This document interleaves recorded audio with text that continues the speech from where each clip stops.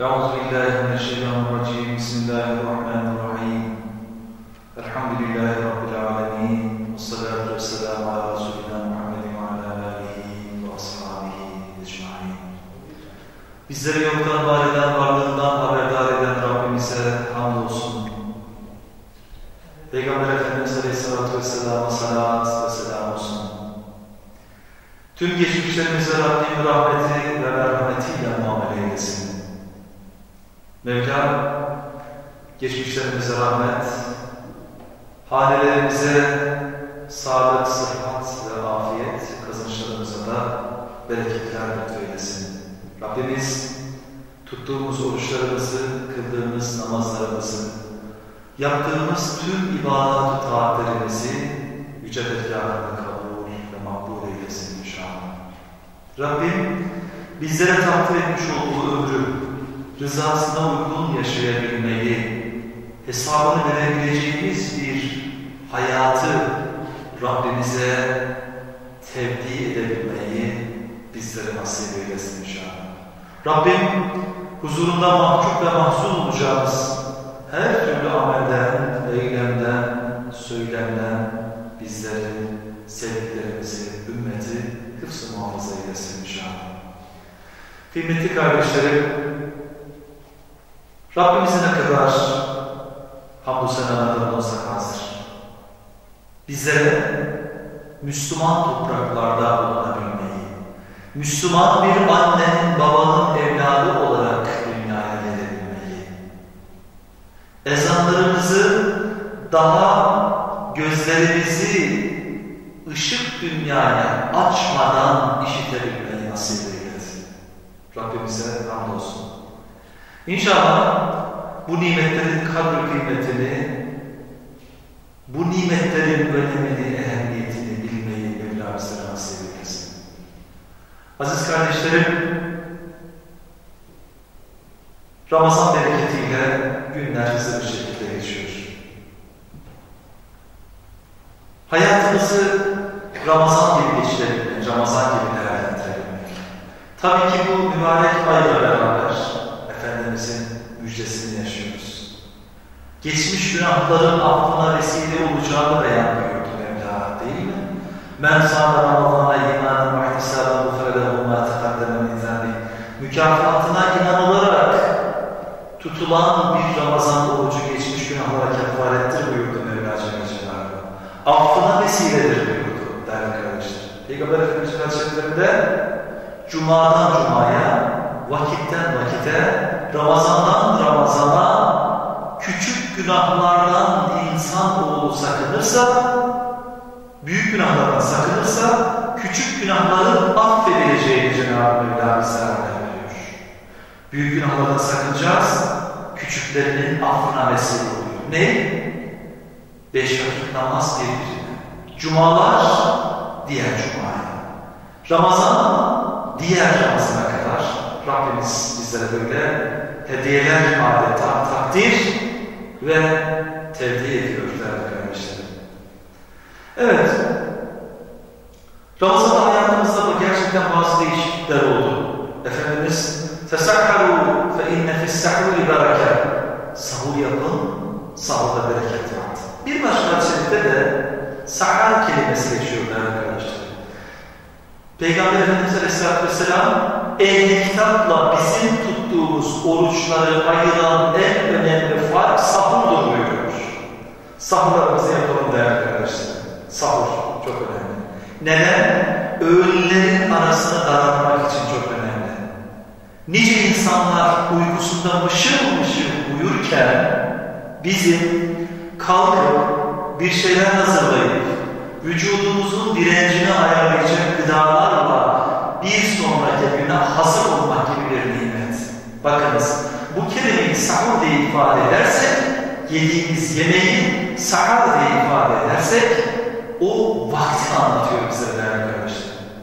Bereket bakınız. Vakitle başlayalım isterseniz. Bu vakit bizlere kalktığımızda bir abdest alalım.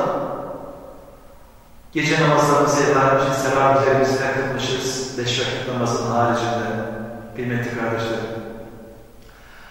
Sabahleyin kalktık, sabah kalktığımızda teheccüd namazını kılıyoruz. Hamdü senalar olsun. Teheccüd. İki kılabiliriz, dört kılabiliriz, altı kılabiliriz. Yerine gidiyoruz, vücudumuza o nimet, besmeleyle, hamdeleyle, şükürle beraber ondan istifade ediyoruz. Sonra ne yapıyoruz değerli kardeşlerim? İmkanlar ölçüsünde mukabelemizi okuyoruz.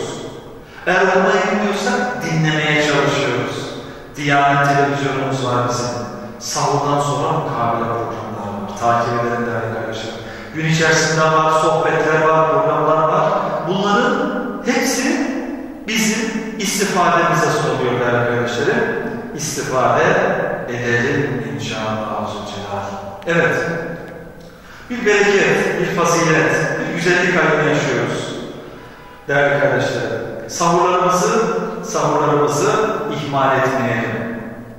Tabii ki bu seneye özel misafir ağırlamak, uğurlamak, misafir davet etmek çok bereketliydi ama bu sene adeta bizler kıymetli kardeşlerim biraz daha çekirdek ailemizde, biraz daha içe dönük, e, misafir ağırlayacağımız insanları soframızda, mekanlarda ağırlamak değil de fakire, fukarayla, yardımla bu ikramlarımızı yapalım değerli kardeşler. Bu Ramazan'da böyle değerlendirelim. Efendimiz Aleyhisselatü Vesselam Ramazan-ı Şerif'in son 10 gününde itikafa girerdi. İtikaf bulunur Mescid-i Nebevi'de. Mescidin bir kenarında adeta Kur'an'la, zikirle, tefekkürle, Rabbine ibadete yoğunlaşarak geçirirdi son 10 gününü. Sadece zorunlu ihtiyaçları abdest, yemek için mescitten çıkardı. Buna itikaf diyoruz. Kıymetli kardeşlerim aklıma ne geliyor biliyor musunuz? Cenab-ı Allah bu yıl bize itikafa girerek Ramazan oruç istedi sanki. Evlerimizde sosyal izolasyonla, sosyal mesafeyi koruyarak, fazla misafirlerle haşır neşir olmadan ama fakirin, fukaranın, ihtiyaç sahibinin varlığından haberdar olup ona yardım etmenin önemini bilerek fitrelerimizle değerli kardeşlerim. Oruç tutamayan kardeşlerimizin vereceği fidye ile bakınız sağlık gerekçesiyle oruçlamayın kardeşlerim üzülmesinler. Sizin vesilenizle birileri seviliyor. Cenab-ı Allah oruç sorumluluğunu sizden alıyor ama tutamadığınız her güne durumunuz, haliniz, imkanınız yerindeyse bir fidye verin diyor. Bir Müslümanın sabah ve akşam iki öğünlük yemeği değerinde değerli kardeşlerim. Bu yıl kaç lira o? 27 TL asgari. Ama ben 30'dan beri vermek istiyorum. Kardeş. 50'den vermek istiyorum. Daha güzel olur. 100'den vermek. Daha daha güzel olur. Rakamlar yükseldikçe güzelliği, sevabı, bereketi de elbette ki artacaktır. Aziz ve değerli kardeşlerim. Evet. Aynı zamanda biz ülke olarak zekatlarımızla Ramazan-ı Şerif ayında veriyoruz. Kıymetli kardeşlerim hesaplayalım zekatlarımızı. Zekatlarımız cebimizdeki para gibi gözükebilir. Hesabımızdaki para gibi gözükebilir. Kasamızdaki kesemizdeki para gibi gözükebilir ama öyle değildir. Ya nedir? Rabbimiz size emanet etmiştir onu. Sahip onu bekliyordur. Zekatların sahiplerini bekletmeyelim değerli kardeşlerim. Evet, Ramazan bizlere bu güzellikleri yaşatıyor. Hamdolsun değerli kardeşlerim, iftarlarla beraber gün boyu aç olan mideyi yorduk. Zaman zaman ölçüyle kaçırdık. Beş vakit namazı kılın demek sorumluluğumuz.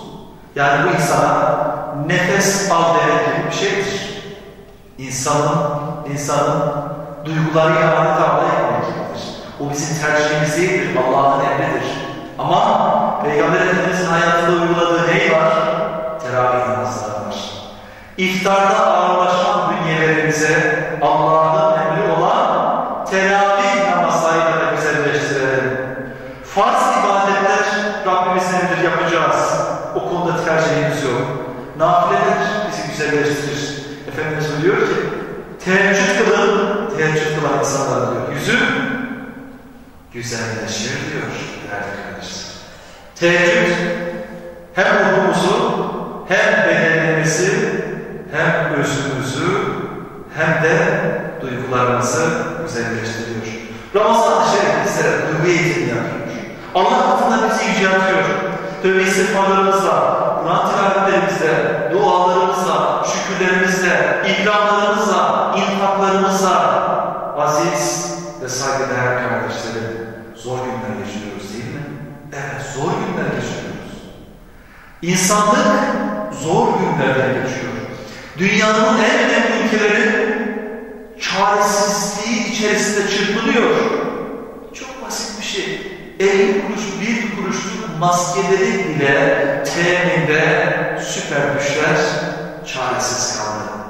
Allah Celle Celaluhu adeta Lillahi mulkü semavati vel ard Gökyüzünün ve yeryüzünün Rabbi benim dediler kardeşlerim. Haddimizi aştık. Yetkilerimizi aştık. Çok şeyleri yaparız dedik belki.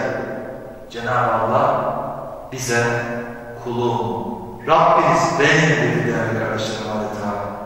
İnsanların zor ve sıkıntılı olduğu bu günlerde insanlara yardımcı olmak, fakirin, fukaranın, muhtaçların yanında yardımcı olmak gibi bir görevimiz, bir sorumluluğumuz var. Hamdolsun değerli kardeşlerim. Dünyanın süper güçlerine bizim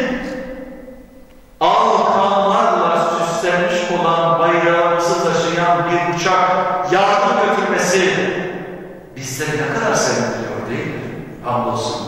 Rabbimiz bu iyilikleri yapmayı, bu duyguları yaşatabilmeyi bu ümmete nasip üniversiteye eylesin inşallah. Kıymetli kardeşlerim, zor zamanlarda kapıların kilidini açan, bizleri zordan kurtaran, sıkıntıdan kurtaran, adeta çaresiz kaldığımızda bizlere çare olan ameller yapalım. Efendimizin çok güzel bir hadis-i var. Her okuduğumda, her paylaşımda kendim bir şeyler öğreniyor ve istifade ediyorum değerli kardeşlerim. Üç tane arkadaş diyor Peygamber Efendimiz sallallahu aleyhi ve sellem yolculuğa çıkarlar. Yolculuk esnasında akşam olur. Gecelemek zorunda kalırlar. Derken yağmur başlar, konaklayacak yerde yok, bir mağara sığınırlar. Derken yağmur şiddetini artırır ve mağaranın kapısına kocaman bir taş gelir ve kapatır. Bırakın bir insanın çıkması, belki bir sinek dahi çıkamayacak şekilde mağaranın kapısına kocaman bir taş gelir. İteklemeye çalışırlar, açmaya çalışırlar, başaramazlar. Ne yaptılarsa yaptılar, başaramadılar ve yolunu düştüler. Dediler buradan bizi ancak bir dua yaptığımız bir iyilik kurtarır dedi. Hemen birisi ellerini açtı, dedi ki, Ya Rabbel benim yaşlı annem babam var. Onlardan önce kendim değil küçük çocuklarıma bile ikramda bulunmam. Önce onlar yer, sonra çocuklar ve kendiniz Bir gün bağa gitmiştim. Geç kaldım ve geç döndüm. Baktım onlar uyumuşlar. Onların yemeğini de hayvanlar sağlayacak, süt sağlayacak, ısıtılacak, onlara ikram edecek, süt ikram edecek onlara. Derken sütleri ısıttık, onlara ikram edeceğim ama uyuyakalmışlar. Annemin babamın başında diyor ya Rabbel Alemin sabaha kadar bekledim. Sonra çocuklar ağlamaya başladı. Ama yine onların uyanmasını bekledim. Bunu Allah'ım senin rızan için yaptım. Eğer senin için bu kıymetliyse şu musibetten bizleri kurtar diyor. Ve birazcık mağaranın önüne gelen taş aralanıyor. İkincisi, Ya Rabbel Alemin benim bir akraba, hadis-i amcamın kızı geçiyor. Belki amcasının kızı belki biraz daha yakın akrabası.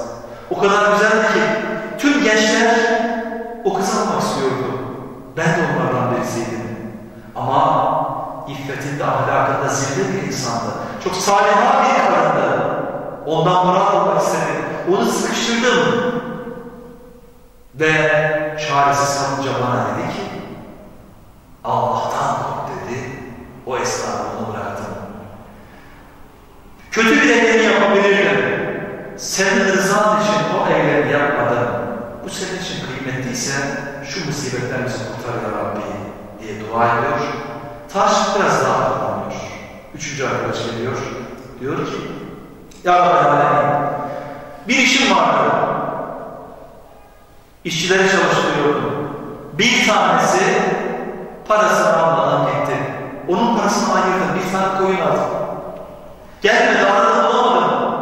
Koyunlar üredi, üredi, üredi bir sürü sürü oldu. Bir gün geldi.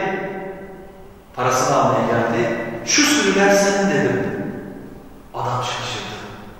Nasıl olur dedi. İşte sen şu zamanda almıştın. O zamandan bu zamana kadar zaman geçti. Ben senin alacağınla bir koyun almıştım. O sürü oldu. Bunların hepsi senin. Adam sürüleri aldı gitti. Ben ulu ortada kaldım. Senin rızan için ya Rabbi Alemin bunu yaptım. Eğer senin için kıymetliyse şu musibetten bizleri kurtar. Diyor, taş paramparça oluyor ve oradan kurtulup gidiyorlar değerli kardeşlerim. Şu zor ve sıkıntılı günlerde bizleri kurtaracak, bizleri musibetlerden, hastalıklardan, belalardan kurtaracak ameller yapabilmeyi Mevlam nasip eylesin inşallah. Rabbimiz insanlığı kurtuluşa erdirsin. Değerli kardeşlerim, duaların kabul olundu. Allah için yapılanların birebir karşılık bulduğu şu günlerde biz bize yeteriz Türkiye kampanyasını unutmayalım yardımlarımızı. Karınca kaderince destek olmaya çalışalım. Ve azımsamayalım, küçümsemeyelim. Bir SMS'le de olsa kardeşlerimizin yanında olduğumuzu, devletimizin yanında olduğumuzu, devletimize zor günlerde sahip çıktığımızı gösterelim. Bizi yöneten devlet büyüklerimize, çalıştığımız arkadaşlarımıza, eşimize, dostluğumuza, insanlığa dua edelim. Rabbimiz oruçlarımızı makbul eylesin. Mevla hepimizden, hepimizden razı olsun. Allah'a emanet.